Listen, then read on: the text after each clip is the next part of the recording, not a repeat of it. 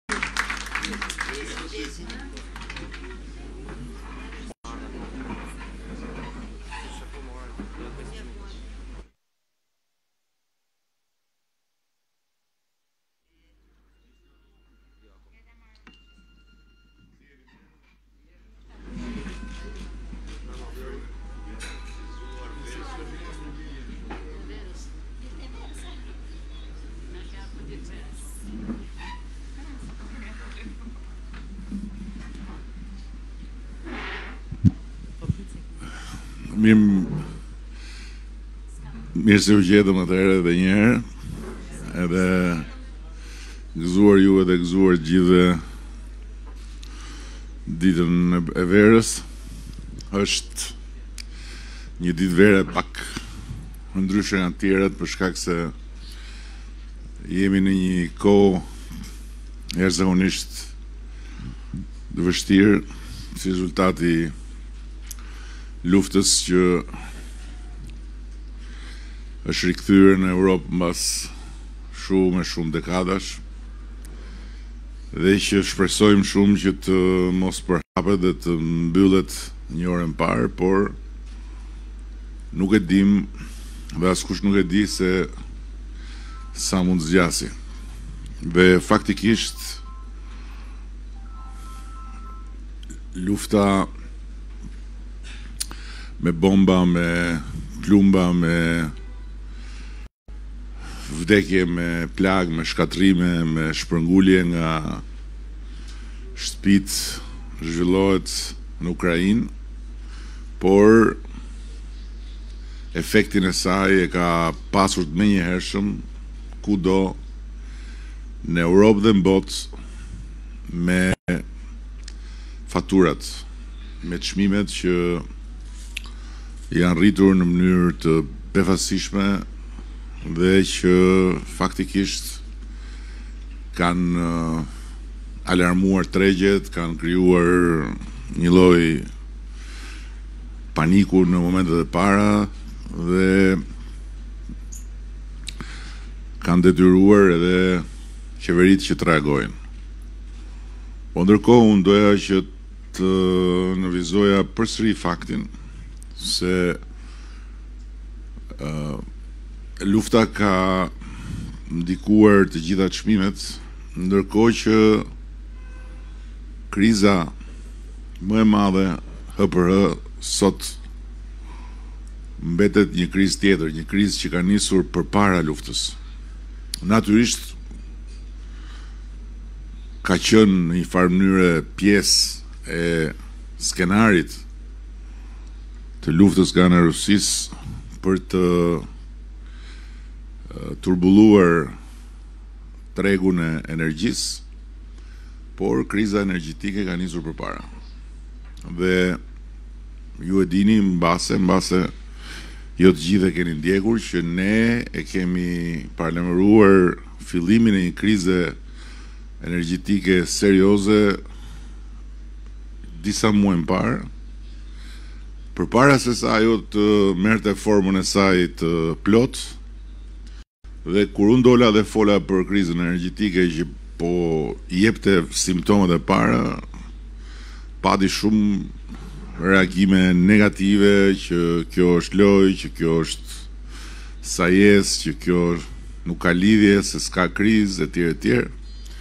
Ndërkohë që ne kishim filluar ta ta ta konstatonim krizën pikërisht sepse po rriteshin çmimet e energjisë në treg.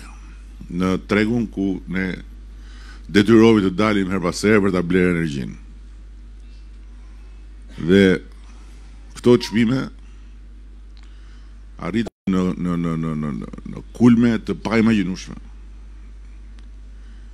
Nga 52 euro megavat orë që ishte një minimum i qëndrueshëm për një, në një periudhë të caktuar të vitit të kaluar, në fillimet e vitit të kaluar, ne kemi kaluar deri në 550 euro për megavat orë, që është një, një gjë e paimagjinueshme, dhe që sigurisht afekton drejtpërdrejt ekonominë tonë. Tani këtë energji që ne detyrohemi të dalim në treg për ta blerë sepse jemi në të tretin vit rresht siç e shikoni pa reshje të mjaftueshme, ku më shumë ka diell se sa ka re Dhe më shumë ka re sesa ka shi apo dëborë. Dhe nga ana tjetër, ndërkohë që ne edhe në vitet me reshje të mjaftueshme përsëri kemi nevojë të dalim në import, duhet ta paguajnë qytetarët. duhet ta paguajnë konsumatorët, duhet ta paguajnë konsumatorët familjarë, duhet të paguajnë duhet ta paguajnë bizneset. Po si mund të bëhet ndo, si mund të bëhet kjo? Si mundemi ne që gjithë këtë ngarkesë financiare të krijuar nga kriza ta transferojmë tek faturat tuaja. Tek faturat e pensionistëve, tek faturat e familjeve me të ardhura të ulta ose mesatare, por dhe ato me të ardhura më të larta me këto çmime e kanë jashtëzakonisht të rëndë goditjen në buxhetin e tyre. Ne nuk mund ta bëjmë këtë. Dhe çfarë duhet të bëjmë? Duhet të financojmë nga buxheti i shtetit. Dhe vendimmarrja që ne kemi marrë qysh përpara se sa të fillonte lufta, qysh përpara se ta dinim që çfarë mund të ndodhë dhe qysh përpara se ta imagjinonim që çmimet mund të shkonin deri në këto nivele, kemi marrë përsipër që ta paguajmë energjinë që pjesën e rritur të të të çmimit të energjisë, nga buxheti i shtetit. Dhe sot faktikisht kur vjen fatura në shtëpi, ajo faturë vjen njësoj siç ishte përpara se sa të kishte ndonjë krizë me 7 lek kilovatin për një për për rreth për rreth 200 mijë familje që janë me status ndihme ekonomike etj etj pensionist uh, invalid e kështu me radhë dhe 9.5 lek për të tjerët. Ndërkohë që llogarinë që mund të bëni për kuriozitetin tuaj sot kur ktheheni në shtëpi merrni faturën e energjisë, shikoni sa kilowatt orë keni konsumuar. Ato kilowatt orë kanë kanë nxjerr vlerën përkatëse, llogaritur kilovati me nëntë pikë pesë lekë dhe vëreni kilovatin me gjashtëdhjetë e një lekë, gjashtëqind e dhjetë lekë të vjetra. Dhe shikoni sa del shifra. Dhe ajo, ajo diferencë midis shifrës që keni aty dhe shifrës që del është diferenca që paguan qeveria e Republikës së Shqipërisë për shtatëqind e njëzet e gjashtë mijë familje sot dhe për nëntëdhjetë e pesë mijë biznese të vogla. Këtë nuk e bën, nuk po e bën deri tani, të paktën asnjë qeveri tjetër. As në rajon, as në Europë. Të gjitha qeveritë e tjera që ne kemi ndjekur kanë rritur çmimin e energjisë. Kanë rritur dhe çmimin e ngrohjes, se ngrohja vjen me me gaz në shumë vende të tjera, i kanë rritur direkt. Sepse është faktikisht diçka për të cilën kolegë të mitë më thonë kjo është një çmenduri financiare. Është një çmenduri financiare, po është dhe më çmenduri sipas nesh që mbas tërmetit e mbas pandemisë edhe edhe kriza e energjisë të shkojë t'u faturohet njerëzve që edhe në qoftë se nuk e kanë pasur shyqyr Zotit tërmetin në shpinë e tyre, stresin dhe dhe goditjen psikologjike e kanë pasur. Edhe në qoftë se nuk kanë pasur shyqyr Zotit të sëmurë nga pandemia në shpinë e tyre, stresin dhe goditjen psikologjike e kanë pasur. Dhe tani ne nuk mundet dot që t'i t'i çojmë edhe këtë faturë. Natyrisht që dhëmbin gjërat që ndodhin. Nuk dhëmbin gjërat që nuk ndodhin. Se nëse do të kishte ardhur çmimi do të do të kishte ardhur çmimi i energjisë me faturën e krizës, atëherë po. Do të kishte nuk do kishte njeri këtu në këtë vend që nuk do donte të dilte në rrugë. Por nuk ka ardhur. Kjo nuk, po fakti që nuk ka ardhur nuk do të thotë që nuk ekziston. Se janë dy gjëra të ndryshme. Fakti që nuk ka ardhur do të thotë që ne Kemi vënë një mburojë financiare që e kemi deklaruar, e kemi shpjeguar dhe me shifra, qysh në momentet e para të krizës dhe këtë mburojë financiare që është tek fatura dhe që që nga fatura e ardhshme ju do ta merrni edhe këtë informacion Pra nëse fatura sot ka këto informacione, do të ketë këtu një kuadrat edhe për këtë informacion. Për t'ju thënë që sa është çmimi real dhe sa është diferenca që e paguan shteti për secilin.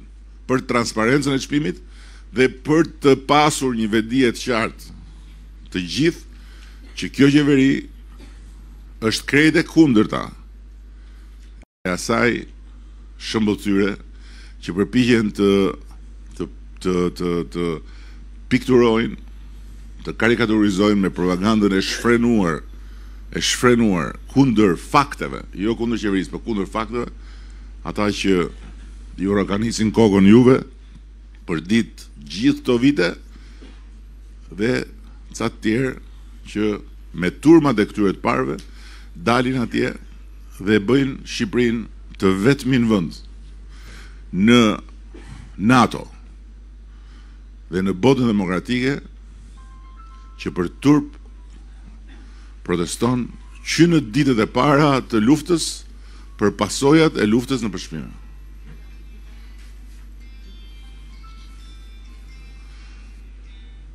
Shkruante një profesor i nderuar, një person për të cilin unë kam respekt, Fatos Tarifa, një letër të hapur për mua. Dhe më qortonte mua për uh, Mungesë durimi ndaj qortimeve të protestuesve dhe për arrogancë ndaj tyre se thashë që është turp. Unë e përsëris ajo protestë është një turp kombëtar. Dhe nuk është arrogancë ndaj protestuesve apo protestës si në vetvete. Besoj që faktet janë aty dhe kujtesa e secilit Mund ta konfirmoj këtë që po them. Nuk ka pasur Shqipëria qeveri më të vëmendshme dhe më respektuese ndaj protestave se sa këto nëntë 8 vite e kusur se nëntë bëhen në shtator. Nuk ka pasur. Në këtë vënd ku haje edhe plumbin në ballë po dilje në protestë, është protestuar Në këto vite sa kanë dashur, kush ka dashur, sepse kjo është një e drejtë që nuk e jap unë, nuk e jep qeveria, kjo është një e drejtë që e jep sistemi që kemi zgjedhur. Dhe jo vetëm kaq. Por ne i kemi dëgjuar protestat me respekt. Dhe institucionin e protestës e kemi vlerësuar si një institucion i cili jo vetëm respektohet po po i cili është edhe një institucion demokratik që mund të sjellë vlerë të shtuar për qeverisje. Dhe qysh në protestën e armëve kimike. Pastaj me protestën për atë tarifën e traut të rrugës së kombit për banorët e Kukësit. Dhe me protestën e studentëve. Janë tre raste. Domethënë se, kur qeveria ka reaguar dhe madje në një rast si në Kukës, unë kam dalë, kam kërkuar dhe ndjesë. Kam kërkuar ndjesë sepse ishim ne gabim, nuk ishin banorët e Kukësit gabim. Dhe për mua nuk ka asnjë rëndësi se kush ka të drejtë dhe kush e ka gabim, për mua ka rëndësi të bëhet gjëja e drejtë dhe nëse dikush që proteston ka të drejtë, atëherë e drejta është me të, nuk është me mua. E bukura e demokracisë kjo është. Demokracia niset nga nga prezumimi që asnjëri Dhe asnjë pjesë e shoqërisë nuk i di të gjitha. Monarkia i di mbreti të gjitha. Demokracia askush nuk i di të gjitha dhe edhe një qytetar që del atje vetëm dhe ngre zërin, mund të ketë të drejtë dhe dhe ajo që ai thotë mund të ketë vlerë për të gjithë të tjerët. Kështu që nuk, kështu që unë e konsideroj virtyt qeverisës e konsideroj cilësi pozitive për një lider që të pranojë se kush proteston mund të ketë të drejtë dhe që të marrë atë të drejtë si një bazë për të ndryshuar politika. Gjithë ajo që kemi bërë me paktin për studentët ishte rezultat i protestës së studentëve. Ishte një një një një shtysë shumë e fortë për të na për të na fokusuar tek disa tema Që jo se ne nuk i dinim në kuptimin ne jo se ne nuk dinim që konviktet kishin nevojë për më për për të tjera kushte, por që nuk ishin prioritet i yni në atë moment. Dhe protesta ndryshoi prioritetet. Dhe kurrë nuk i kam identi, nuk i kam uh, trajtuar protestuesit përveçse me respekt. Madje edhe protestat e opozitës. Protestat më të çartura që mund të mund të bëjë një parti politike. Asnjëherë nuk i kemi trajtuar me mungesë respekti ose me me shpër, me po kjo kjo është turp. Kjo është një turp i pashoq i të gjithë atyre që që nxisin, që s'kan turp, kuptohet sepse e kanë e kanë bërë divorcin me turpin den babaden dhe ju i njini mirë kush janë. Tek ata që ju vënë fytyrën në dispozicion. kur marrin mikrofonat dhe dhe natyrisht keqardhje për ata që i sjellin nga të katër anët e Shqipërisë me autobuza të paguar nga kush? Kush i paguan autobuzat e naftës së rritur kaq shumë për njerëz që vijnë protestojnë për naftën? Kush i paguan? I paguajnë ata shkretët që vijnë me dy gishta këtu.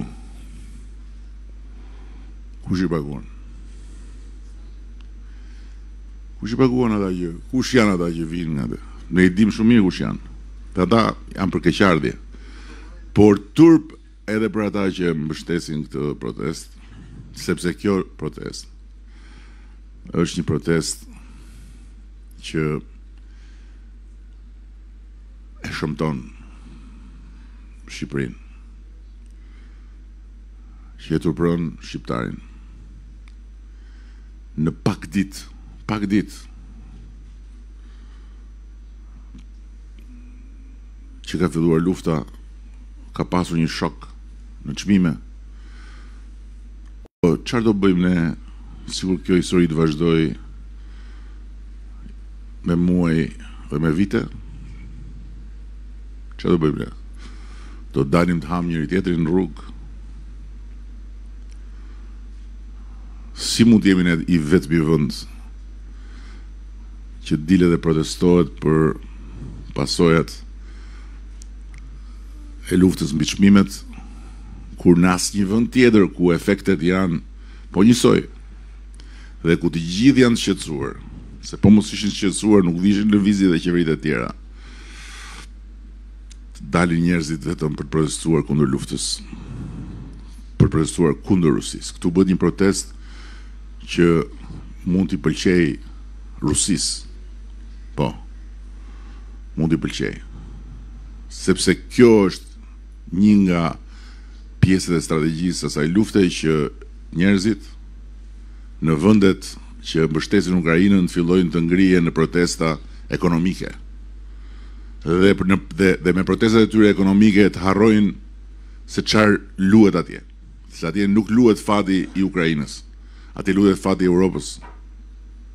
Atje nuk luhet fati i një populli që quhet populli ukrainas, atje luhet fati i gjithë popujve të Europës. Atje luhet fati i demokracisë. Se është një agresion ushtarak ndaj një vendi demokratik. që nuk ka bërë vaki qysh kur në skenën e Europës doli dikush tjetër jo në Moskë po në Berlin edhe sulmoi gjithë dynjanë.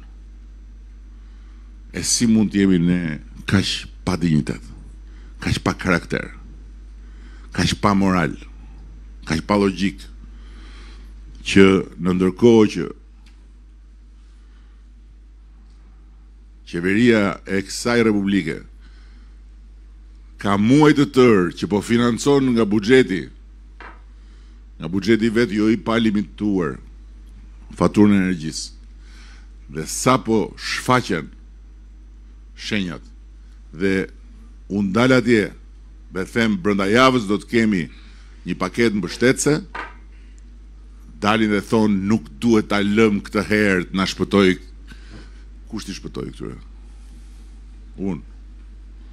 Po pse këtu çështja është për një person, këtu çështja është për një parti. Kjo është çështje e dinjitetit kombëtar. Dhe këtu nuk ka të bëjë fare, fare, fare, fare, fare me, me, me, me konceptin e protestës, me institucionin e protestës, me të drejtën e protestës, me paprekshmërinë e protestës, tje këtu ka të bëjë me një kuturisje të turpshme që fyen e fyen kombin shqiptar dhe popullin shqiptar në dinjitetin e vet, sepse ne nuk jemi njerëz. Shqiptarët nuk janë njerëz.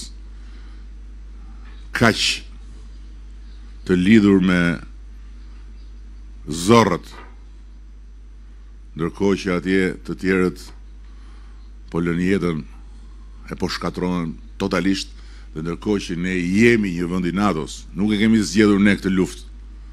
Nuk e ndalojmë dot ne këtë luftë. Por ne jemi një vend i NATO-s, ne jemi vend i Europës, ne jemi vend demokratik. Ne e dimë ç'do të thotë të jetosh në diktaturë dhe ne këtu Është minimumi i sakrificës që mund të bëjmë, ndërkohë që nga ana tjetër qeveria po bën dhe do bëjë gjithçka mundet me transparencë plot për të mbështetur sa më shumë njerëzit. Dhe na tregojnë që ne jemi vendi më, më i tillë, më i atillë, më i atillë, këta.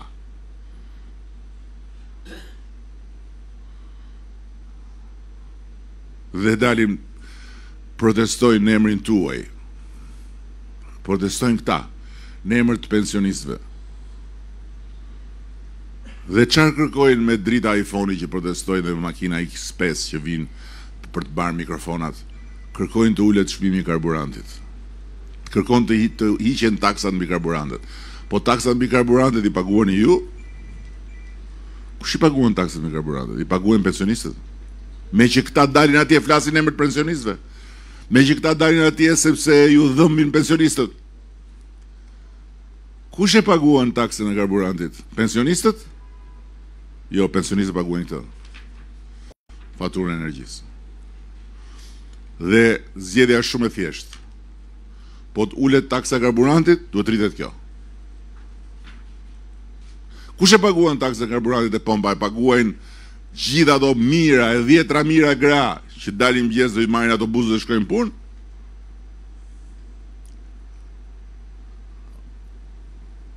Apo paguajnë këtë. Dhe për ata mijra e mijra e mijra shqiptarë, që janë shumë më tepër se ata që marrin veturën, që hypin autobus, jo urban, po dhe ndërurban, që nisen nga Tirana, Gjirokastër apo matanë. Ka dy rrugë. O do t'ua paguajmë ne diferencën e biletës, që mos ndjejnë që bileta është dyfishuar, o do heqim, do ulim, do heqim taksën e karburantit për ata që dalin atje, edhe do ta sjellim këtu, do ta sjellim te bileta efektin, se nga nga diku do vinë parat, se nga i gjen shteti parat që paguan. Dhe ky shtet dhe kjo qeveri për të cilën flasin këta, ka përballuar një tërmet të tërë dhe të tëra shpit që janë ndërtuar dhe po ndërtohen, përjashto 500 apartamente në Laç, që i ka ndërtuar presidenti i Turqisë. Dhe 1000 disa qindra se nuk e kam tani shifrën e saktë në Spitallë që po i ndërton princi i kurorës së Emirateve të Bashkuara, të gjitha ç'keni parë ju që janë ndërtuar dhe kanë hyrë njerëzit qofshin banesa individuale, qofshin pallate, i ka ndërtuar kjo qeveri dhe i ka ndërtuar me buxhetin e këtij shteti. Paratë e Europës nuk kanë ardhur për shtëpi. Dhe me paratë e Europës nuk kemi ndërtuar asnjë apartament. Kanë ardhur për një pjesë të shkollave, kanë ardhur për objekte të trashëgimisë kulturore, kanë ardhur për ujësjellësin e Durrësit, që do të vazhdojë projekti tjetër dhe për disa projekte tjera dhe nuk janë disbursuar akoma përveç se ato të shkollave. Përveç se ato të shkollave paratë akoma nuk janë disbursuar, se nuk vijnë paratë e Europës me me me, me çantë këtu. Dhe nuk dhe Europa nuk ti jep paratë ty. Po i administron vet.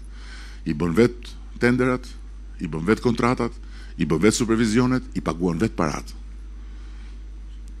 Dhe një tërmet i tërë, ndërkohë që në Itali akoma sot dhjetë vjet, dymbëdhjetë vjet, pesëmbëdhjetë vjet mbas tërmetit janë nëpër kabina dhe presin shpinë, u përballua nga kjo qeveri. Dhe ato familje sot janë më mirë se ç'ishin përpara tërmetit. Po kështu dhe me pandeminë që e kemi kaluar deri tani të paktën se do Zoti s'ka ndonjë goditje tjetër e kemi kaluar ok. Sikur spitalet e Shqipërisë të mos ishin investuar, atëherë do shikonim se ç'do qe bërë me pandeminë. Po u investuan gjithë këto vite për këta që flasin. Dhe sot lufta është reale. Po, po shikonim dje çmimet e karburantit, meqë thonë Shqipëria është vendi me çmime më të larta, kanë kërcyer kudo dhe mbi çmimet e Shqipërisë, në shumë vende. Thonë që ne i kemi rrogat më të ulta, prandaj duhet i kemi dhe çmimet e mallrave që vijnë nga importi më të ulta. Po kjo nuk ndodh kështu sepse ne tani nuk do përmbysim nuk do përmbysim historinë e 30 kusur viteve që e kemi mësuar. Ne dolëm në '90 nga komunizmi dhe menjëherë çmimet kërcyen në mënyrë marramendëse që s'kishte njeri lek në xhep. S'kishte lek njeri në xhep. Po këta që dalin këtu s'kan parë as komunizëm, s'kan parë as diktaturë se po t'i kishin parë nuk do fyenin viktimat e komunizmit nuk do fyenin vuajtjet e diktaturës duke për duke thënë këtu akoma poshtë komunizmi të thuash sot poshtë komunizmi do thotë të fyesh gjithë ata që kanë vuajtur realisht nga komunizmi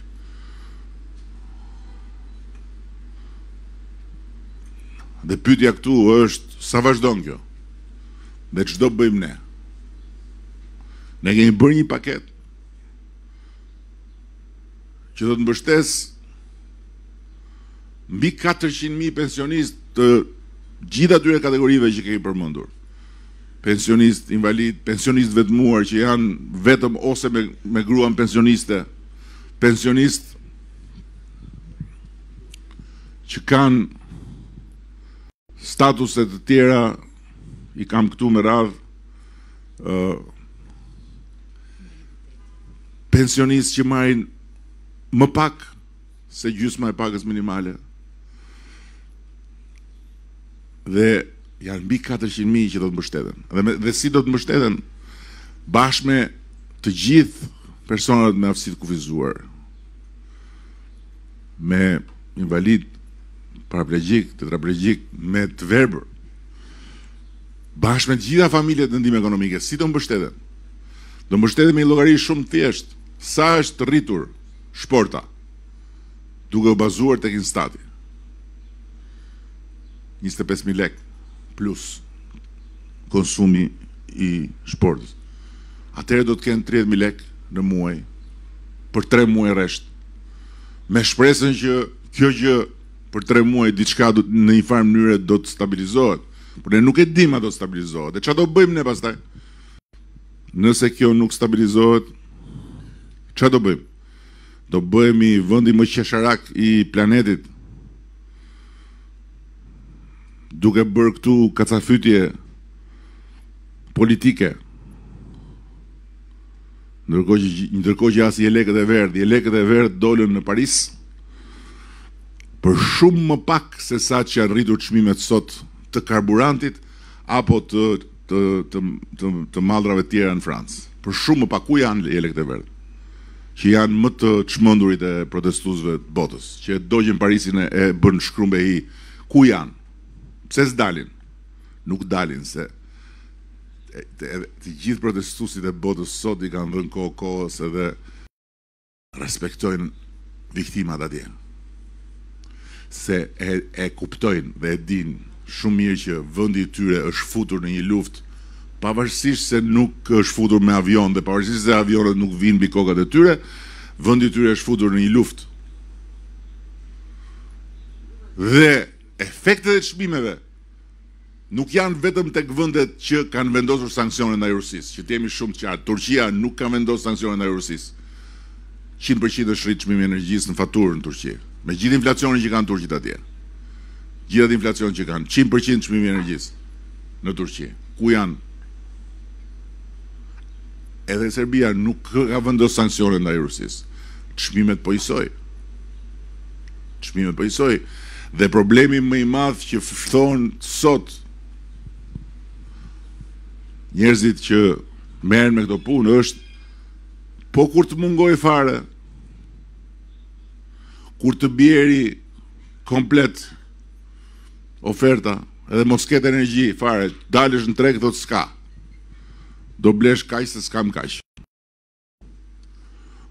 Po kur të mungojë nafta?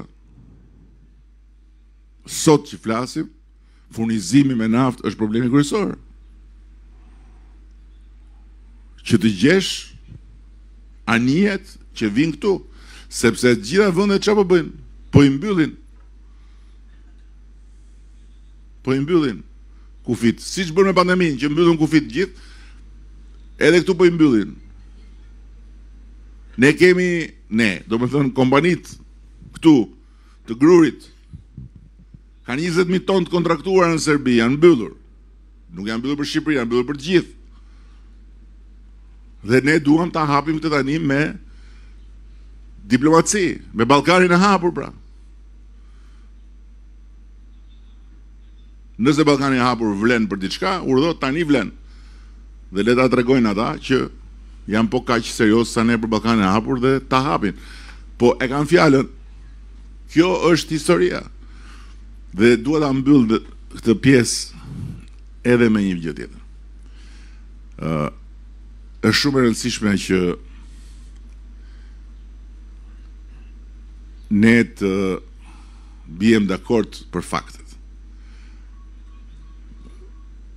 Jeta e përditshme është një ferr, në qoftë se ne kemi fakte të ndryshme dhe nuk kemi të njëjtat fakte. Në qoftë se unë them që është ditë dhe dikush tjetër thotë jo kjo është natë, ne nuk merremi më vesh. Ne duhet të biem dakord që kjo është ditë. Pastaj bëjmë debat se sa ftohtë apo sa ngrohtë është, por që është ditë është ditë. Tani ne duhet të biem dakord për për disa fakte këtu. Se është habi e madhe dhe është është e pamundur të merremi vesh në qoftë se dilet siç dalin këta dhe u thuhet shqiptarëve që këtu qeveria e vjedh naftën dhe energjinë se ne e kemi. Ne s'kemi nevojë të dalim në në import. Ne e kemi. Ne na ka dhënë Zoti energjinë. Ne na ka dhënë Zoti naftën. Në fakt ne na ka dhënë Zoti një vend me shumë burime ujore. Por uh, Zoti nuk prodhon energji. Energjinë e prodhojnë hidrocentralet. Energjinë e prodhojnë fotovoltaikët, energjinë e prodhojnë ato eoliket e erës. Nuk e prodhon Zoti. Dhe Shqipëria nuk e prodhon të gjithë sasinë që i duhet për konsumin që ka sot. Prandaj duhet të dali në treg, duhet të shkojë në tregun ndërkombëtar. Dhe nga ana tjetër, Shqipëria prodhon një energji e cila varet 100% nga Zoti, domethënë nga shiu.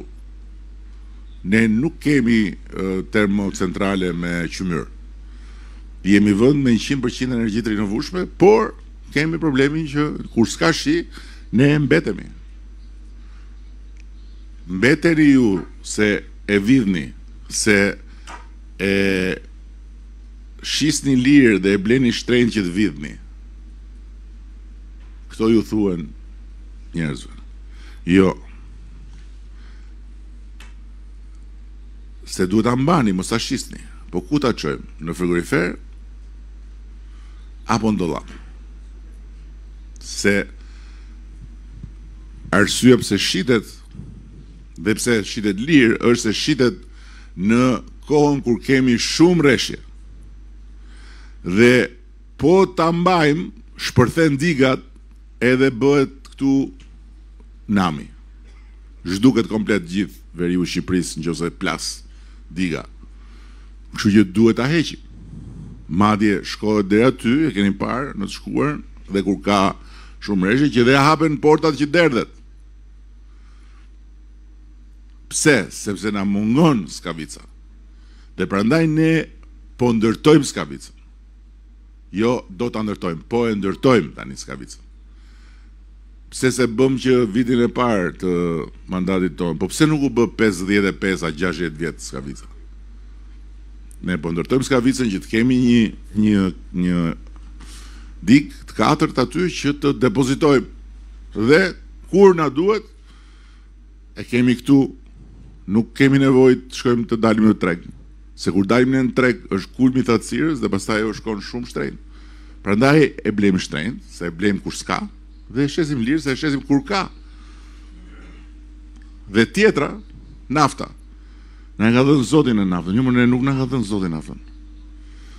Shqipëria ka një naftë Për momentin rezerva e naftës së Shqipërisë është një rezervë e cila është rezervë e një nafte të rëndë që po të përpunohet dhe të kthehet në benzinë apo në dizel, kushton shumë herë më tepër se sa po të merret nga jashtë. Prandaj eksportohet kryesisht për bitum. Ky është fakti. Kemi ne tani një zbulim të ri që akoma nuk ka hyrë në nuk është komercializuar gazi me Shellin. Kemi ENI-n që po punon, por për momentin këto janë të të mundësitë tona. Dhe paketa është e tillë që njerëzit të marrin pak frymë. Lexoja sot komente e ama ç'a bëtë ju? Hoqët taksën e pagës deri në 400.000 lekë. Po ç'a keni heq? S'keni heq asgjë. Se ajo s'ishte gjë, tani o ishte gjë o s'ishte gjë, se nga njëra anë thonë taksat janë shumë të mëdha, na morën frymën. Tani që hiqet s'ishte gjë. O tani o ishte gjë o s'ishte gjë. Se bëjnë llogaritë e njerëzve të tjerë për t'i nxitur dhe për t'i mërzitur dhe për t'i yshtur që të dalin nëpër rrugë njerëzit se për vete këta që flasin nuk marrin as 300.000, as 400.000, as 500.000 të vjetra, po marrin shumë më tepër. Marrin shumë më tepër.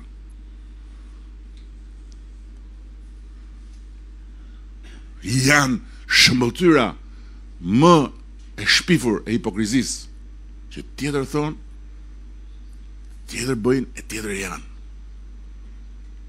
Ndërkohë që zerimi i taksës mbi pagën deri në 400.000 lek është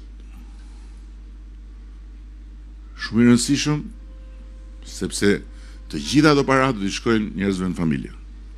dhe ka trembëdhjetë për qind aty që çdo muaj ia paguanin shtetit. Po kështu dhe përgjysmimi i pagës deri në 500.000 lekë. Dhe ne jemi vendi që mbi individin dhe mbi biznesin e vogël kemi taksat më të ulta në rajon. Në Europë nuk bëhet fjalë fare se Europa i ka taksat ku e ku, se kur bëjnë llogaritë e Europës këta, thonë e ka kaq pagën ai në Gjermani. Punëtori në Gjermani, punëtori në Gjermani e ka aq pagën po. Po pyte pak punëtorin në Gjermani sa paguan taksë, sa paguan sigurime shoqërore, sa paguan për shpinë. Sa paguan për energjinë, sa paguan për shërbimet e tjera. Pyte pak punëtorin në Gjermani meqë po ia bën llogaritë punëtorit në Gjermani, pyeti pyeti shqiptarët në Gjermani sot që u shkon djersa deri në fund kurrizit xhuk. Bëjnë llogaritë këta. Dhe biznesi vogël e ka zero, këtu ku jemi ne, taksa është zero, TVSH-ja është zero. Po pse ne nuk duam ta prekim këtë? Dhe pse për të mos prekur këtë, për të mos prekur këtë, për të mos prekur ju, për të mos prekur këto, Duhet të vazhdojë të paguhet ajo, ajo taksë te nafta. Sepse nëse prekim këta këtu, këta këtu çfarë do bëjnë? Do heqin një njeri nga puna këtu. Do heqin dy njerëz nga puna. Ne duam që këta të marrin më shumë njerëz në punë. Më shumë e thjeshtë. Prandaj aleatët tanë, gjithmonë, Por në këtë luftë sidomos janë ata që nuk kanë makina të shtrenjta. Janë ata që e paguajnë faturën e energjisë me të ardhurat nga pagat e tyre të deklaruara, jo të fshehura. Janë ata që marrin autobusat, këta janë aleatët tanë. Dhe janë këta të biznesit vogël që janë jo tani në luftë, po janë që nga dita e parë kulturalisht aleatët tanë sepse këta krijojnë punë për vete dhe krijojnë punë për tjerët. Këta punësojnë familjen e tyre, marrin dhe punësojnë edhe të tjerë sipas mundësive. Këta janë Shqipëria që punon. që nuk rri të presi nga shteti çdo gjë dhe që çon familjen në punë çdo ditë. Dhe ne me këta e kemi aleancën kryesore dhe këtyre ne nuk ia prekim taksën.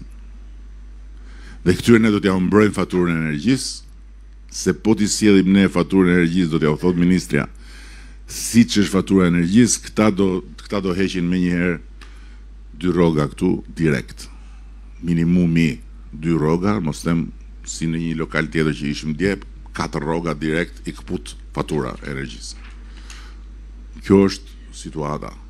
Ne nuk jemi nuk i kemi zgjedhur këto, nuk e ftuam tërmetin të vijë këtu, po e përballuam. As pandeminë nuk e ftuam, po e përballuam. Tashti luftën as nuk e deshëm, as nuk e duam, por do ta përballojmë dhe do ta përballojmë me dinjitet.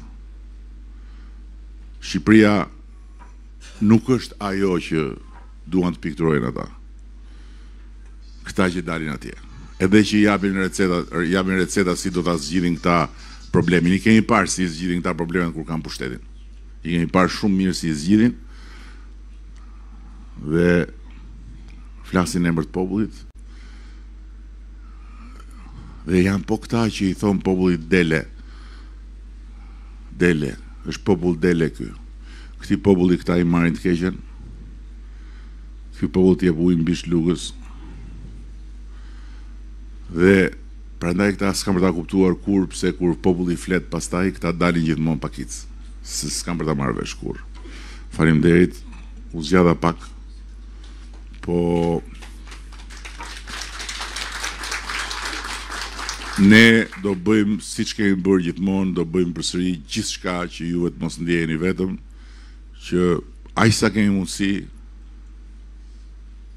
ta vëmë dispozicion duke pas parasysh që kjo dhe mund të zgjas dhe duke pas parasysh që Ne jemi këtu për ju, jemi këtu për njerëzit, jemi këtu me njerëzit, ne nuk jemi këtu për ato që na na thuhen. Se ju betohem që po të ishte për këta dhe për hallet e këtyre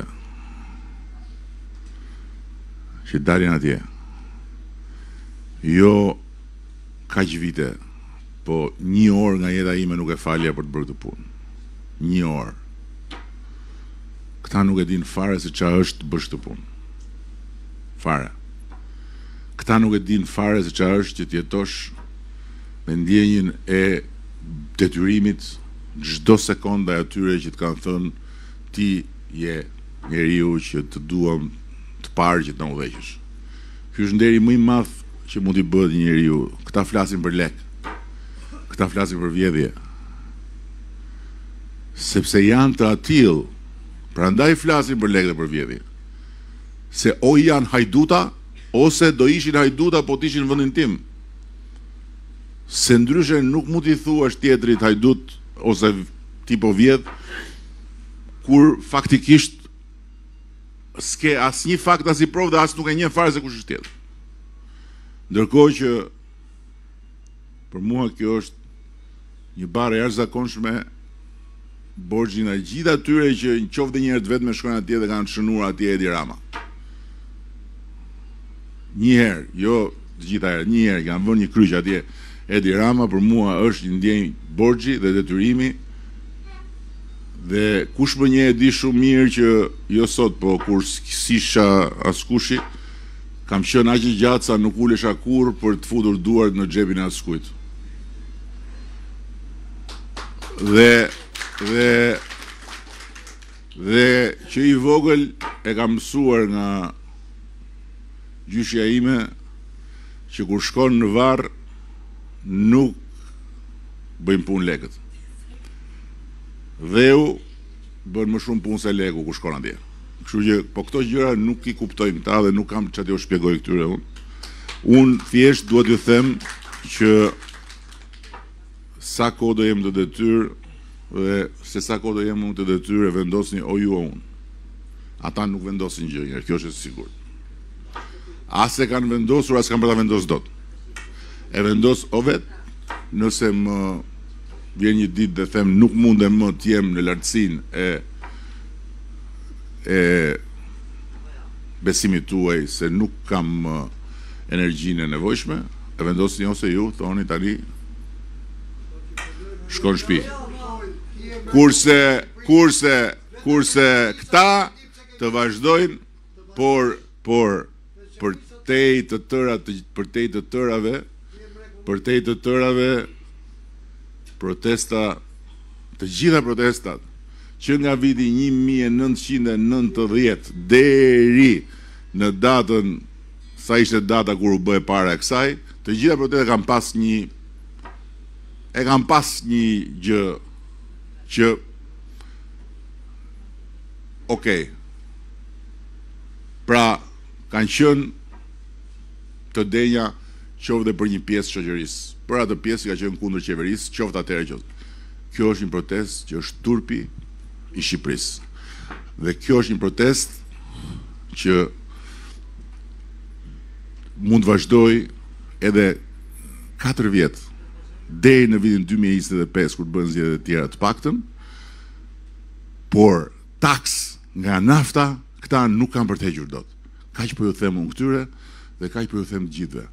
Dhe këtë turp që këta ia vënë Shqipërisë në kurriz, që që marrin pyesin, marrin pyesin. Gjithë të huajt që janë këtu dhe ore ça bëhet. Ore ça bëhet këtu? Do ta mbajnë gjatë këta për në fytyrën e tyre. Ta mbajnë gjatë këta në fytyrën e tyre.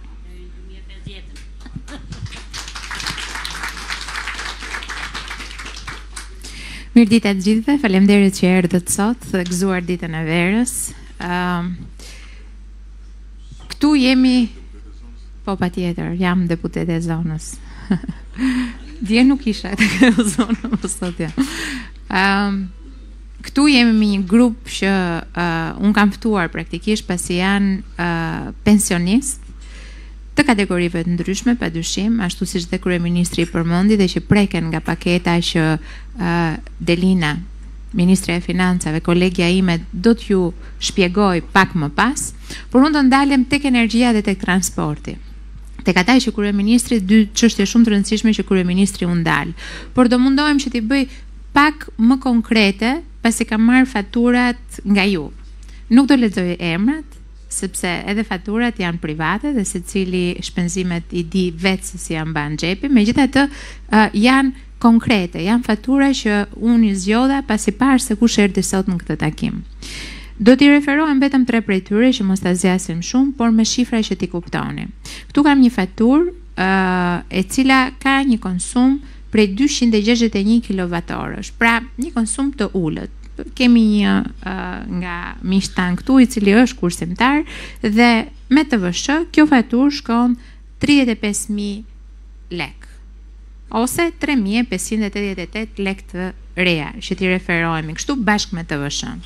Ndërkohë, ju duhet të shikoni se si kjo faturë e muajit janar, vlera në faturë është 35.880 lek, ndërkohë që vlera e faturës Po të ishte në treg të lirë, pra nëse ne do të aplikonim atë çmim me të cilin ne e blejmë energjinë, sepse ju paguani vetëm 9.5 për çdo kilovator dhe ky është një çmim që ka ngrirë prej vitesh tashmë. Kështu që nëse ne do të aplikonim atë çmimin që kryeministri tha, pra atë që ne e blejmë në import që arrin deri në 61 lek për kilovator, atëherë fatura do të ishte për ju trembëdhjetë mijë e pesëqind e gjashtëdhjetë e katër lekë ose njëqind e tridhjetë mijë lekë, njëqind e tridhjetë mijë lekë. Dhe diferenca midis asaj që ju keni paguar dhe asaj që ka mbuluar shteti është nëntëdhjetë e nëntë mijë lekë ose nëntë mijë e nëntëqind e shtatëdhjetë e pesë lekë të reja. Kjo është njëra nga faturat. Do të vazhdoj me një faturë tjetër ku është prap një nga ju dhe me konsum më të lartë. Sigurisht mund të jenë familje më e madhe, mund të ketë edhe fëmijë të cilët janë punësuar. Këtu kemi një konsum për kilovator 1125 kilovator dhe fatura totale e muajit bashkë me TVSH-n ka shkuar 12925 ose 100 e Ok, është e jotja, ok. 120.000 lekë. Nëse kjo faturë, nëse këtë, në këtë faturë, ne do të kishim aplikuar çmimin me cilin blejmë ose mishelën siç quajmë ne, pra çfarë prodhon kaskada, çfarë prodhojmë në vend, plus çmimin e importit, kjo faturë do ishte katërqind e nëntëdhjetë mijë lekë. Pra diferenca midis çfarë është paguar nga familja me atë çka mbuluar shteti janë tridhjetë e gjashtë mijë e nëntëqind e dyzet e katër ose treqind e gjashtëdhjetë mijë e nëntëqind e dyzet e katër lekë siç ne shprehemi me lekë të vjetra.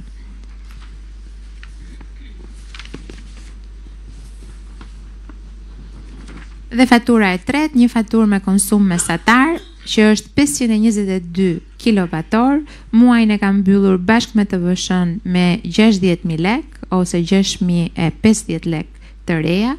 Në rast se ne do aplikonim çmimin, pra me kilovatorët e paguar nga mishela e kaskadës dhe e importit, pra që arrin deri në gjashtëdhjetë e një lek, kjo faturë duhet të shkonte në dyqind e tridhjetë mijë lek dhe diferenca që do paguheshte nga shteti dhe është paguar pra nga shteti është njëqind e shtatëdhjetë mijë lek. Këto janë, ok, Mira, kjo është e jotja. Atëherë, unë zgjodha tre fatura me tipologji të ndryshme. Një faturë me uh, pak kilovator, një faturë me shumë kilovatorë për shkak një familje më të madhe dhe një faturë me konsum të mesëm. Që të treja këto fatura ju e dëgjuat dhe kjo është arsyeja pse ne zgjodhëm dhe ta bëjmë më konkrete që të kuptoni se sa kompensohet çdo faturë e energjisë elektrike. Dhe siç e tha kryeministri, nuk kompensohet Tani që nisi lufta. Ne kemi vendosur ta bëjmë këtë prej vitesh, çmimi nëntë pikë pesë për abonentin familjar, katërmbëdhjetë për bizneset e vogla, si dhe një çmim që kemi vendosur ta ngrijmë për momentin për gjithë ato biznese më të mëdha të lidhura në tensionin e mesëm, kanë prej kohësh që janë kthyer në një mburojë sociale në Republikën e Shqipërisë dhe që ofrohet nga qeveria Rama. Megjithatë, në këto ditë, Kur ne po flasim, kur, siç kryeministri e tha, një vit më parë, në muajin mars, ne blinim energji me pesëdhjetë e dy euro për megavator, ndërkohë që sot blihet energji me pesëqind e pesëdhjetë euro për megavator, pra dhjetëfishi i rritur. Ndërkohë që çmimi nuk ka ndryshuar, ju vazhdoni dhe paguani të njëjtat fatura. Unë do t'i referohem për një moment pasi është edhe një çështje tjetër që ju prek juve si grup, pra pensionistët, uh, që gëzoni shëndet plot, që lëvizni çdo ditë, që ndihmoni fëmijët tuaj për të rritur nipërit e mbesat, që ndoshta s'i keni fëmijët këtu fare dhe ju duhet që t'i dilni zot vetes për të bërë pazaret, për të qarkulluar, për të lëvizur, për gjithçka, për të shkuar nën Violeta tek doktori, uh, ju përdorni transportin urban. Ju nuk keni automjete, nuk keni dikë ndoshta që t'ju ndihmojë për transportin, ndaj ju jeni nga përdoruesit më të mëdhenj të transportit urban. Dhe ju duhet të dini që në paketën e rezistencës ne kemi vendosur që të kompensojmë të gjithë ndërmarrjet, të gjitha kompanitë të cilat ofrojnë transportin urban dhe transportin ndërqytetas, pra edhe nga njëri qytet në tjetrin me 100 lekë për litër. duke i kompensuar kështu nevojën që ata kanë shprehur për të rritur biletën. Kështu që biletat në Republikën e Shqipërisë do të mbajnë të njëjtin nivel, ne nuk do të lejojmë që askush nga kompanitë të reflektojë rritje bilete, pasi të gjitha kompanitë do të kompensohen me njëqind lekë për litër nafte që ju të keni të njëjtin biletë siç keni dhe sot. Kështu që këto janë të gjitha masat që ne kemi marrë dhe siç kryeministri shumë qartë e tha, ne nisemi fillimisht nga target grupet që janë më vulnerabël dhe që janë më të ekspozuar dhe më nevojë dhe ju bëni pjesë te këto grupe. Ne as kemi reshtur dhe as do reshtemi që të kujdesemi për pensionistët, për nënat kryefamiljare, për ata njerëz të cilët marrin rrogën minimale e cila padyshim është rritur vitet e fundit dhe do vazhdojë të rritet dhe siç ne po e shikojmë pra edhe dje në takimet që janë bërë kanë filluar që të ketë ndërmarrje të kenë punonjës në brezin nga 300 deri në 400.000 lek në numra të konsiderueshëm që tregon që rroga minimale do vi drejt rritjes dhe ne do të mbajmë atë premtim që kemi bërë pra për rritjen e kësaj page minimale. Por për t'ju informuar dhe për të qenë të gjithë më të vedijshëm se çfarë po ndodh, situata sot nuk ka të bëjë vetëm me çmimet e tregut. Pra, pa dyshim, jemi të ekspozuar përsa i përket çmimit dhe energjisë elektrike, të cilat ne kemi marrë përsipër që ta mbulojmë dhe mos t'ju lejojmë juve që t'ju preken financat, por Ashtu kemi bërë edhe me iniciativa tjera që Delina do t'ju thotë për sa i përket shportës dhe çmimeve që janë rritur kohët e fundit. Megjithatë duhet të kemi parasysh që sot ne jemi të ekspozuar ndaj një risku shumë të madh, mungesës së sasive energjetike në treg. Qofshin këto të energjisë elektrike dhe qofshin këto të naftës dhe të gazit, të cilat ndikojnë praktikisht energjinë elektrike. Energjia elektrike prodhohet në të gjitha tregjet botërore, dhe hidhet në treg për t'u konsumuar, pavarësisht se ku prodhohet dhe pavarësisht se ku tregtohet. Është një kosh i madh virtual ku hidhen sasi energjetike të cilat blihen nga kompanitë e shpërndarjes në të gjithë Europën dhe në të gjithë botën. Shumica e këtyre sasive energjetike prodhohen nga termocentralet që vijnë nga nafta dhe nga gazi, kështu që çmimi i rritur i naftës dhe i gazit për shkak të luftës në Ukrainë Sjell edhe rritjen e menjëhershme të çmimeve energjetike, po çfarë sjell tjetër? Sjell kufizimin e volumeve. Dhe kufizimi i volumeve është ai të cilit ne i trembemi sot dhe po mundohemi që të marrim të gjitha masat që mos kthehemi as në kohën e gjeneratorëve kur vetëm zhurma apo kosto që mbante çdo familje për t'u furnizuar me me energji elektrike në dy mijë e shtatën, në dy mijë e gjashtën, në dy mijë e njëmbëdhjetën, deri në dy mijë e trembëdhjetën, ishte gjeneratori ishte pjesë e jetës dhe as të kemi probleme të tjera të cilat mund të lidhen me mungesën e volumeve të naftës në Republikën e Shqipërisë. Ne kemi filluar që të punojmë për këtë, kemi marrë kontaktet e duhura me vende të cilat mund të na mbështesin në të ardhmen, pasi sot shumica e vendeve europiane kanë nxjerrë një bllok të eksporteve. Si Gjermania, ashtu dhe vende të tjera nuk lejojnë më eksportimin e naftës apo të gazit duke mbajtur rezervat për veten e tyre. Siç ju e keni ndjekur dhe në ditët e fundit, ne kemi marrë masat që të gjithë tregtarët e naftës dhe të gazit në Republikën e Shqipërisë të kenë faktike rezervat e naftës e gazit, të cilat detyrohen që të mbahen në gjendje emergjence, siç është kjo që ndodhemi tani, kështu që ne po marrim gjitha masat për t'i dalë përpara të keqes. Megjithatë, ajo çfarë na duhet në kohë të vështira, na duhet që të qëndrojmë pranë njëri tjetrit dhe mbi të gjitha na duhet mirëkuptimi juaj. Ndaj dhe ne kemi ndërmarrë këto takime për të sqaruar dhe për t'ju bërë ju që të kuptoni se në cilën situatë jemi, si po e zgjidhim atë, si po mundohemi t'ju mbështesim dhe çfarë do bëjmë në të ardhmen nëse kjo situatë do përkeqësohet. Unë do t'ja kaloj Delinës, apo jo? Po, vetëm një sekondë se po kërkoja në telefon dhe e gjeta një mesazh që më ka ardhur para dy ditësh, uh, ku shkruhet... Uh, Po ndi, është në anglisht, por po e po e përkthej për ju edhe vjen nga ë uh, jashtë ku shkruhet ë um, ndjekim me shqetësim zhvillimet në Tiranë, a keni informacione për kush qëndron prapa këtyre protestave? Është legjitime t'i bëhet presion qeverisë që të veprojë në ndihmë të njerëzve. Shqipëria është pjesë e NATO-s, ndërkaq NATO është de facto në luftë me Rusinë. Lufta sjell telashe, sjell vështirësi, sjell edhe uri.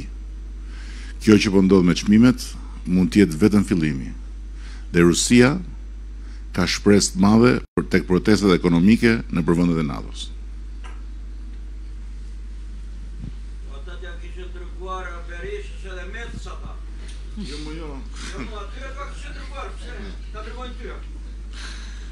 Përshëndetje të gjithëve, një falënderim që jeni sot këtu me ne. Secili ka ka elementet e vet, ka ca njerëz që profesion kanë protestën. Ne nuk jemi të mbështesim ato që e kanë profesion protestën. Neve kemi mbështetur ato që kanë dalë të protestojnë për diçka të drejtë dhe për diçka që na ka bërë të ndryshojmë mendje. Profesionin protestën nuk e mbështesim dot. Ë, unë sot do ju prezantoj gjithë masat që ne kemi vendosur të ndërmarrim, se ne jemi qeveri socialiste dhe ne mendojmë që duhet të mbështesim ato shtresa të cilat janë më në nevojë, ato shtresa që janë më të prekura, Dhe për këtë arsye kemi prekur energjinë, që prek të gjithë individët, që prek të gjithë bizneset dhe kemi mbështetur ushqimin. Ne nga data, nga prilli, do të indeksojmë pensionet me tre pikë tre për qind. Në fakt, sipas ligjit, indeksimi i pensioneve bëhet me mesataren e një viti më parë, i cili nuk është, e cila nuk është Tre pikë tre përqind. Është dy pikë katër përqind. Ne e ndryshuam këtë, vendosëm që të marrim mesataren e shkurtit, pasi shkurti ka treguar rritje të çmimeve dhe pensionet do të indeksohen me tre pikë tre përqind.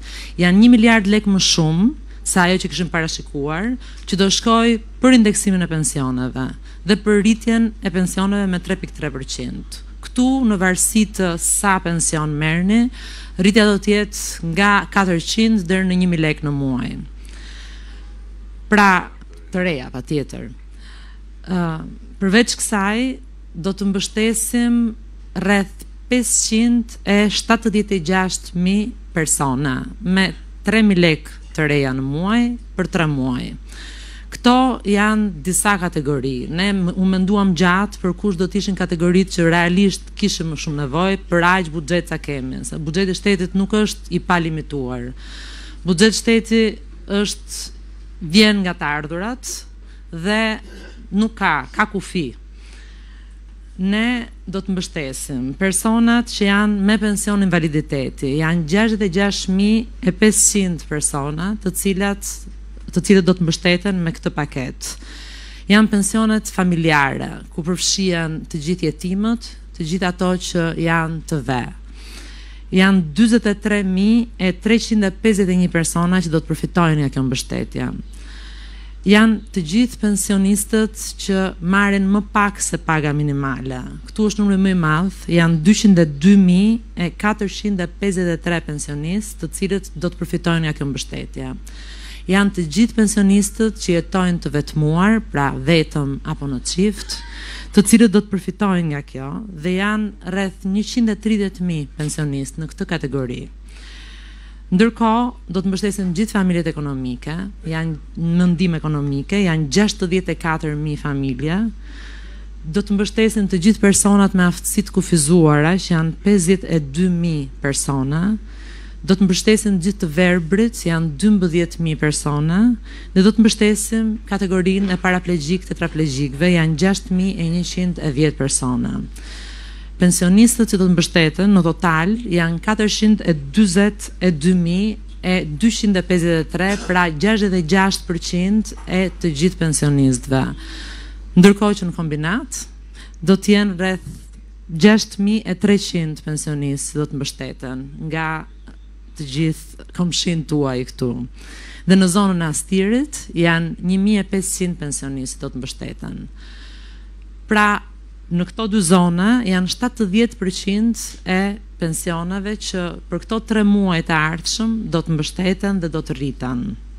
Unë uroj shumë që e gjithë kjo çmenduri që po ndodh me rritjen e çmimeve, e gjithë kjo çmenduri e luftës të përfundojë mbas tre muajsh dhe të rikthehemi normalitetit. Ne në vitin e kaluar kemi pasur një vit shumë të mirë, i cili do të na kishte lejuar që ne të vazhdonim investimet, do të na kishte lejuar që ne të vazhdonim politikat tona sociale të rritjes së pagave dhe të rritjes të pensioneve. Por ndodhi kjo. Siç ndodhi e njëjta gjë para 2 vjetësh në 2020-ën kur buxheti i shtetit u shkatërrua nga të gjitha ato të papritura që na ndodhën. Na u desh të mbështesim të gjithë të punësuarit të cilët dolën pa punë. Nuk mund t'i linim pa punë, nuk mund t'i linim pa çuar bukë në shtëpitë e tyre. siç nuk kishim parashikuar tërmetin që ishte një tjetër goditje për buxhetin e shtetit. Buxheti është ai që është. Ne nuk i nuk i mbjellim lekët, ne i mbledhim nga njerëzit që punojnë, nga bizneset që punojnë dhe mundohemi të bëjmë shpërndarjen më të mirë të mundshme. Se në fund fundit Për këtë jemi votuar. Përveç këtyre masave që sapo thashë, do të jenë rritje direkte në buxhetet tuaja, ne do të mbështesim të gjithë fermerët, sepse ajo kategori që realisht ka nevojë dhe preket nga nafta dhe nga rritja e çmimit të naftës, janë fermerët të cilët e përdorin naftën për të punuar tokat e tyre, për të prodhuar, dhe për të na furnizuar me të gjithë ushqimet që marrim. Pikërisht për këtë e kemi mbështetjen e fermerëve do ta çojmë 1.45 miliard lekë. Ministrja u shpreh që ne do të mbështesim transportin publik, pasi ato shtresa që punojnë, ju, ato që realisht nuk e përballojnë, nuk e përballojnë dot pasjen e një makine. Përdorin transportin publik. Dhe dhe atë ne do të mbajmë dhe do të ruajmë syrin e biletës që kriza të mos na japë efekte në buxhet familjar nga kjo. Ne përjashtuam të gjithë taksat deri në mbi pagat deri në dyzet mijë lekë. Janë treqind e gjashtëdhjetë mijë përfitues të kësaj nisme dhe janë më shumë se pesëdhjetë e gjashtë mijë, pesëdhjetë e gjashtë për qind e punëmarrësve të cilët paguajnë zero taksa sot. Të gjitha këto janë shtesa mbi të ardhurat e disponueshme që familjet kanë. Nga ana tjetër, nga prilli, paga minimale rritet me dy mijë lekë, pra çdo qytetar që merr pagë minimale, janë më shumë se dyqind e dhjetë mijë punëmarrës, do të kenë dy mijë lekë më shumë në xhepat e tyre. Kjo është një paketë e cila duke iu bashkuar paketës së mbrojtjes së energjisë, ku janë njëzet e tetë miliardë lekë nga buxheti i shtetit, është një paketë e cila e ridimensionoi komplet buxhetin. Na u desh që të prisnim shpenzime, sigurisht të gjitha shpenzimet e mirëmbajtjes, shpenzimet e energjisë elektrike të administratës, shpenzimet e blerjeve të pajisjeve të kompjuterave, të rekonstruksioneve të godinave, të gjitha u shkurtuan. Gjithashtu na u desh të preknim edhe disa elementë të buxhetit që në fakt janë të domosdoshme sepse na shërbejnë për të rritur nivelin e jetesës së vendit, por këto janë zgjedhje të vështira dhe në kohë luftash të gjithë duhet të bëjmë zgjedhje të vështira. Faleminderit shumë që keni ardhur.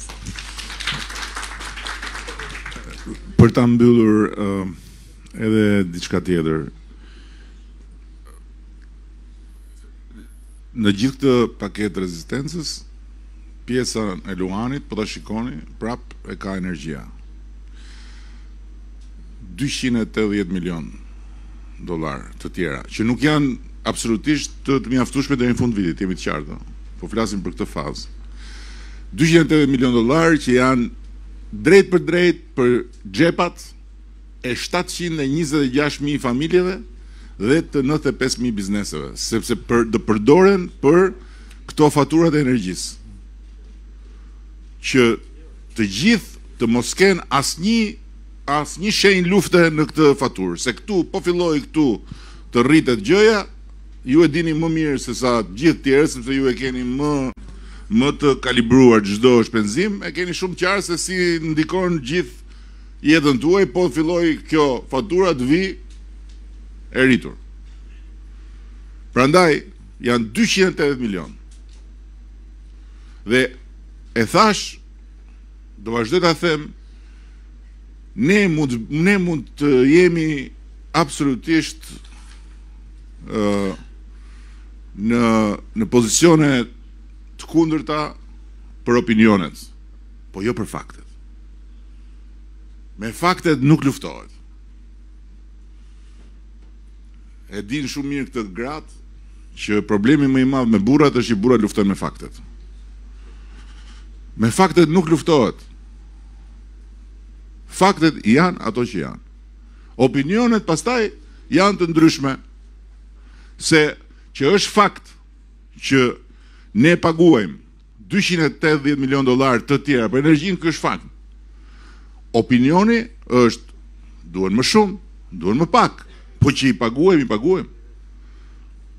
Që është fakt që nëse ne heqim taksën e naftës, Barra direkt shkon tek ata të cilët as nuk ndotin mjedisin dhe as nuk as nuk kanë automjete në pronësi. Ky është fakt. Pse e kemi vendosur ne atë taksë? E kemi, është e vërtetë, e kemi ne atë taksë aty në strukturën e çmimit, prandaj edhe çmimi ynë në kohë normale është më i lartë se sa i rajonit që e ka taksën veç. Ne e kemi vendosur atë taksë me vetëdije të plotë, e kemi thënë, sepse ne jemi këtu në radhë të parë aleatë me pjesën më të madhe të njerëzve. Që ditën e parë, kur kemi dalë në skenë, dhe kemi kërkuar besimin, kemi thënë, ne jemi kush ka më shumë, do kontribuojë më shumë, kush ka më pak, do kontribuojë më pak, kaq e thjeshtë është kjo. Dhe ne, dhe mos harrojmë dhe një gjë tjetër, se flasim për rritjen e pensioneve. Ne kemi kontributet më të ulëta shoqërore në rajon dhe në Europë nuk diskutohet. Kontributet shoqërore janë kontributet që paguhen gjatë gjithë kohës për pensionet. Dhe Trashëgimia e skemës sonë të pensioneve është një tmerr. Është vendosur në në disa binarë, po prapë është dhe dhe dhe prandaj rritja e pensioneve, rritja jo indeksimi, rritja reale e pensioneve është sfida më e madhe e qeverive dhe në të gjithë rajonin tonë nuk i ka rritur njeri pensionet prej shumë e shumë vitesh, sepse filloi kriza e 2008-2009-ës, pastaj erdhën krizat e tjera. Dhe objektivi ynë është që t'ia dalim kësaj. Po që t'ia dalim kësaj, ne duhet të kemi një stabilitet në skemë, se në qoftë se ne bëjmë një rritje sot, nesër mund të bjerë gjithë skema. Ka disa që thonë, po mirë, pse nuk bëni një gjë tjetër ju, se janë këta të llogarive pa hanxhin. Hiqni një rrugë, një rrugë bën kaq Hiqni një rrugë, hiqni dy rrugë, edhe rrisni rroga dhe pensione. Po vitin tjetër, se ato rrugët, ato investimet, po themi rruga, po çfarë do të thotë? Ato investimet e para një herë punësojnë njerëz. Do hiqni, domethënë çoni mijëra veta, çojini në shtëpi pa punë. E dyta, ato sjellin të ardhura. Është njësoj si të thuash Paratë që kemi ne, paratë që kemi ne në shpi, të kursyra, dhe çfarë na vjen ne nga puna në shpi, mos të lëmë asgjë mënjanë, po të gjitha t'i hedhim këtë muaj për t'i shpenzuar. Po muajin tjetër, si do bëjmë pastaj? Si do bëjmë muajin tjetër? është njësoj si të bësh pazarin e javës dhe t'i hash të gjitha të hënën. Po ditën e premte si do shkojë puna? Kështu që kjo nuk është kaq e thjeshtë. Ajo që që që vlen këtu për t'u për t'u nënvizuar është që ta dinë të gjithë. Është shumë e rëndësishme se se do kishte një zgjidhje kjo punë që të jemi që që t'ju them do kishte një zgjidhje po s'e bëjmë dot që atyre që dalin atje t'ua çonim faturën e energjisë reale. atij që ata atyre që dalin atje, që marrin mikrofonin dhe atyre të tjerëve që i ndjekin nga mbrapa, t'ua çonim një muaj faturën reale të energjisë, t'i thoshim paguajeni tani. Paguajeni tani. Atëherë do t'u dukej pompa e karburantit si biberon qumështi. Që do ta thithnin me kënaqësinë më të madhe s'do bënin asnjë fjalë. Por këtë fakt ne s'mund ta fshehim, domethënë ky fakt nuk mund të vihet në diskutim, se ky është fakt. Ky është fakt. Shkoni pyesni në Kosovë. Dhe absolutisht nuk është Nuk është një kritikë ndaj ndaj qeverisë së Kosovës. Nuk kishin asnjë rrugë tjetër ata, asnjë shans tjetër përveç ta rrisnin çmimin. Meqë na bëjnë dhe krahasime, jo shikoni këtë vend, shikoni atë vend. Kurse ne e kemi një rrugë dhe ne po i ikim asaj rruge dhe ja ku jemi sot këtu, faturat tuaja nuk ndryshojnë. Pytini në Kosovë. Pytini. Dhe pytini sa e kanë taksën mbi pagën në Kosovë. Sa e ka taksën biznesi i vogël në Kosovë? Pysni në Maqedoni, u bë Maqedonia, paketa etj etj. Pyetini pak. Si i kanë taksat ata mbi individin dhe mbi biznesin e vogël? Pyetini pak si i kanë kontributet shoqërore dhe shëndetësore dhe mbi të gjitha çdo dardh e ka bishtin prapa. Se po të ishte se ne do dinim që lufta do mbaroi shpejt, ne nuk e bënim paketën shumë. Mblidhnim e i jepshim gjithë nga njëqind mijë lekë direkt sot. Atë merrin. Por nuk e dimë se si shkon kjo punë. Dhe luftat nuk vijnë as për të bërë mirë, as për të sjellë ushqime në tavolinë, as që të jemi të gëzuar, as që të të Tundim iPhone-ët me drita për protesta, luftat vijnë për dhimbje, vijnë për sakrifica, vijnë për të sfiduar deri në kockë karakterin e njeriut.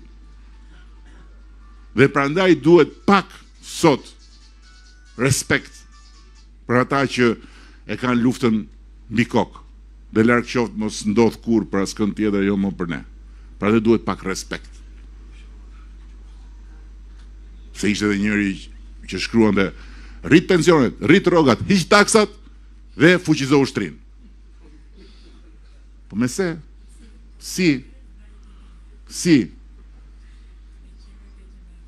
Nëjse.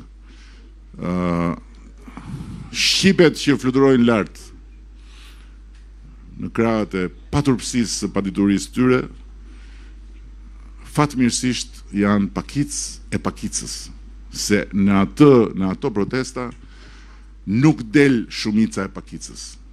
dhe ato protesta nuk i mbështet shumica e pakicës. Flas ata që janë kundërshtarë të qeverisë, por që janë shqiptarë me dy fije mend në kokë që e kuptojnë që këto çmime nuk i rriti qeveria. Dhe nuk u rritën në të njëjtën kohë në gjithë botën për faj të qeverisë shqiptare. dhe e kuptojnë njëkohësisht që këtu është një pasojë e një situate që është komplet pa lidhje me qeverinë shqiptare. Kështu që këta le t'i le t'i konsiderojmë hudhra për mos marrë mësysh e të vazhdojmë të bashkuar përpara dhe unë po ju them që siç ia kemi dalë Me tërmetin siç e kemi dalë dhe me pandeminë do ja dalim edhe kësaj me se s'bën, turpi do t'ju mbetet atyre që po e bëjnë këtë turp sot. Faleminderit.